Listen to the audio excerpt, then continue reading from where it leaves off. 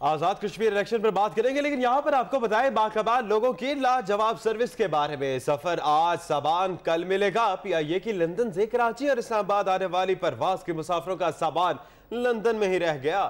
جانتے ہیں محمد محسن سے۔ محسن، بتائیے گا مسافروں کا سامان کیسے رہ گیا؟ لندن میں کیا کہنا ہے پی آئی اے ترجمان کا؟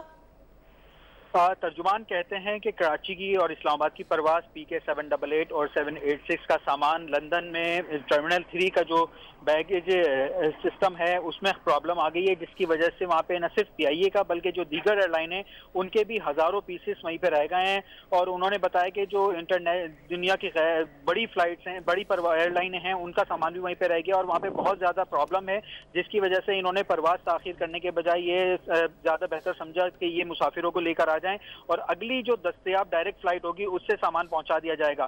تاہم، کراچی ایئرپورٹ پر صبح ساڑھے پانچ بجے پہنچنے والی پرواز اور اسلام آباد ایئرپورٹ پہ صبح آٹھ بجے پہنچنے والی پرواز کے مسافروں نے وہاں پہ پروٹیسٹ کیا اور انہوں نے کہا، یہ پہلی دفعہ نہیں ہے، اس سے پہلے بھی جب وہ آتے رہے تو اکثر ان کا سامان جو ہوتا ہے وہیں پہ رہ جاتا ہے اور لندن کی پرواز کو سب سے زیادہ اہمیت دی جاتی ہے۔